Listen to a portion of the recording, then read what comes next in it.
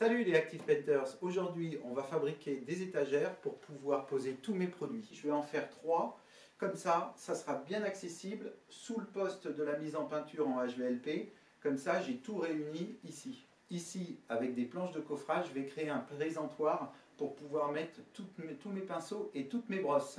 L'année dernière, j'ai fait rentrer 30 euh, mètres carrés de volige en 28. Donc euh, on va les utiliser pour les étagères on a 1m46, 1m46,4.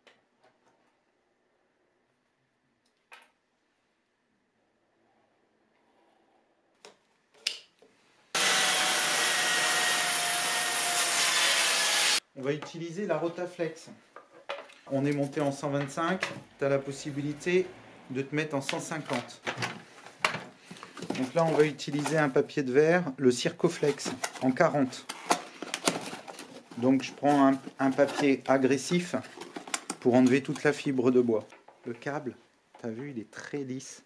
C'est un câble qui laisse pas de traces. Je me branche au niveau de l'aspirateur.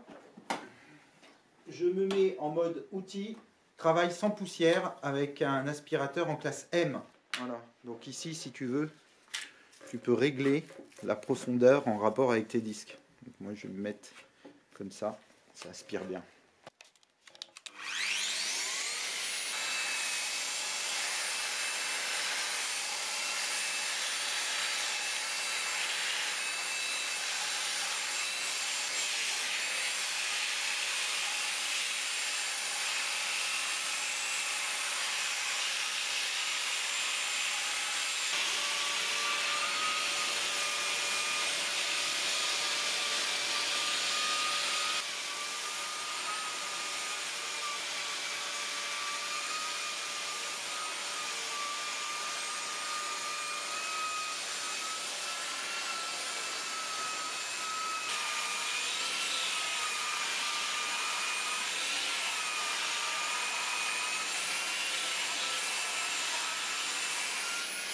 C'est vraiment euh, impressionnant. Euh, là, là, tu sens la différence. J'ai enlevé 3 euh, mm.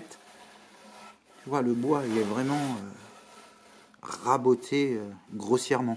Là, ça va me permettre de mettre ma planche propre, comme ça. C'est un premier jet. Avec le 80, je vais enlever toutes les traces du 40. Et tu vois, pour ceux qui se posent la question à quoi ça sert ce petit cache rouge, c'est pas que pour mettre la marque. Hein tu le tires, tu le tournes, et là, tu peux faire tes plaintes.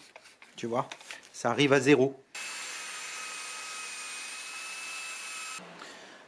Alors pour ceux qui se disent ouais mais le papier de verre il est neuf, bon t'as vu comment ça a rectifié Le papier de verre il est loin d'être neuf, hein. j'en suis à ma troisième planche. Là j'utilise la ORE 150, c'est un plateau euh, en 150 avec son fil et j'utilise du Silverflex en 120 pour, enlever les traces du 80 et je ne remonterai pas plus dans les grains parce qu'après euh, je veux que ma peinture elle accroche. Là il y a le variateur, je vais me mettre euh, à moitié. J'ai arrondi ma planche et maintenant je vais faire mon arrondi.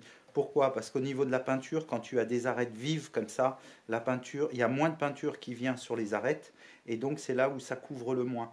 Mais euh, c'est moins bien protégé quand tu as des arêtes vives.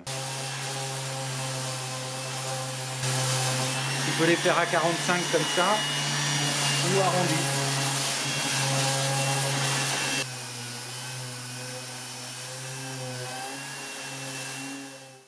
Donc ça y est, la partie ponçage est terminée. Maintenant, on va se faire euh, la partie euh, mise en peinture. Je les ai mises dans une boîte euh, de transport pour que ça soit plus présentable. Et puis comme ça, elles sont protégées. Donc on va utiliser une turbo brosse. Je vais utiliser celle-ci. Montana, c'est un produit, tiens, tu vois, ça se comme ça.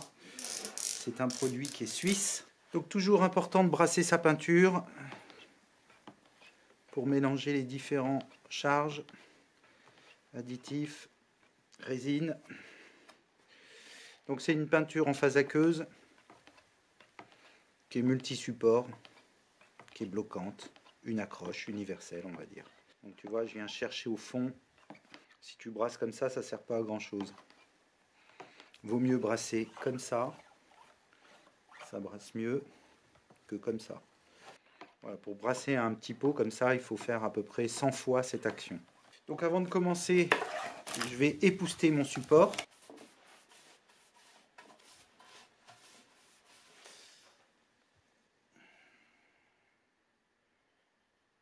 Donc je le fais à la brosse parce que tu peux faire pénétrer correctement les supports, la peinture dans ton support au niveau des fibres. Donc sur l'extérieur, sur les tranches, tu vas toujours à l'extérieur.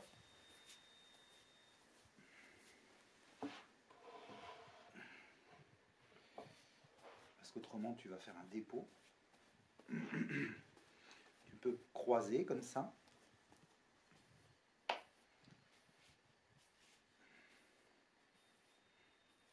Ça pénètre bien dans, dans la fibre, là où il y a les imperfections aussi.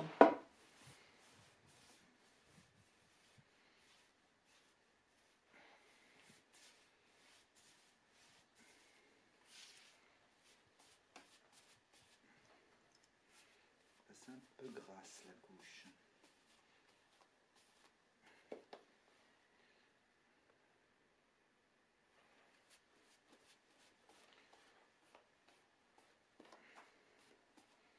tu peux déposer en couche croisée comme ça. L'avantage c'est que ça rentre dans la fibre.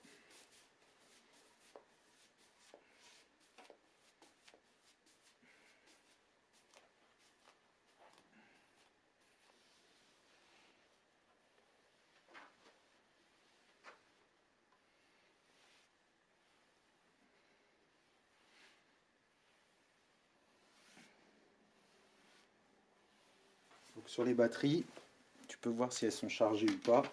J'ai mis une mèche de 8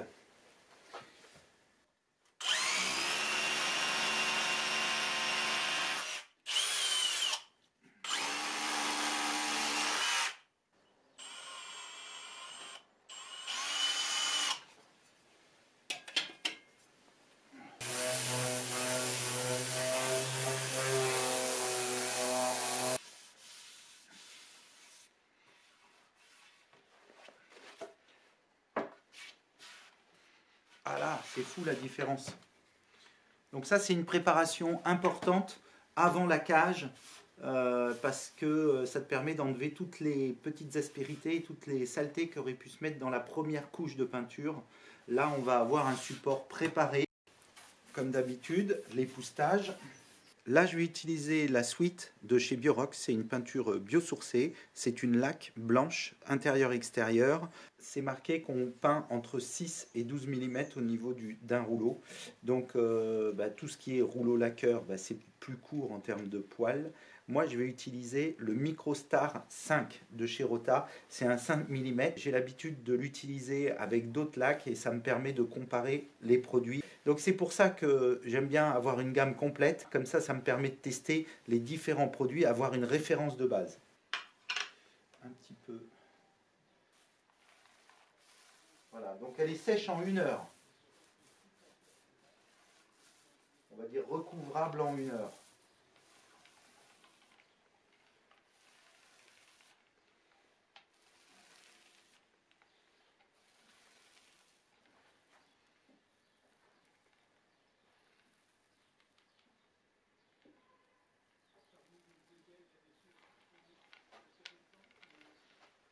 Euh, je confirme, ça sèche très vite. Je regarde s'il n'y a pas d'imperfection.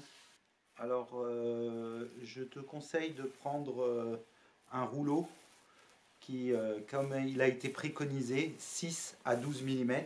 Moi, je suis sur un 5 et en fait, ça dépose moins de peinture. Je vais certainement faire une troisième couche. En général, ce qui est marqué sur les fiches des peintures professionnelles, vaut mieux respecter ce qui est dit. Et là maintenant ça va prendre toute sa brillance.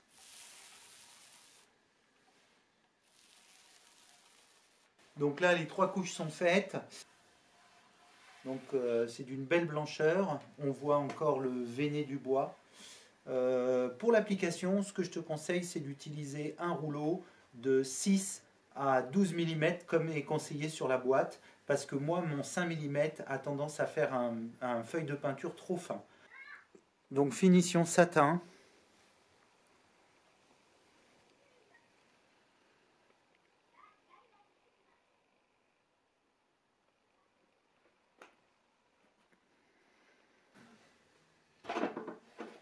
Voilà. Donc au niveau de l'organisation, j'ai mis toutes les ponceuses ici, disponibles à la main pour brancher sur l'aspirateur. Ici, tu as une partie des ponceuses et là, c'est la partie 18 volts pour travailler à l'atelier. Ça sera très pratique. Donc je te remercie d'avoir regardé la vidéo jusqu'au bout. Clique ici pour regarder une playlist. Ici, la vidéo suivante. Et puis, je te rappelle, tu peux t'abonner, tu peux partager, tu peux me laisser un, commentaire. Pardon, et à bientôt. Salut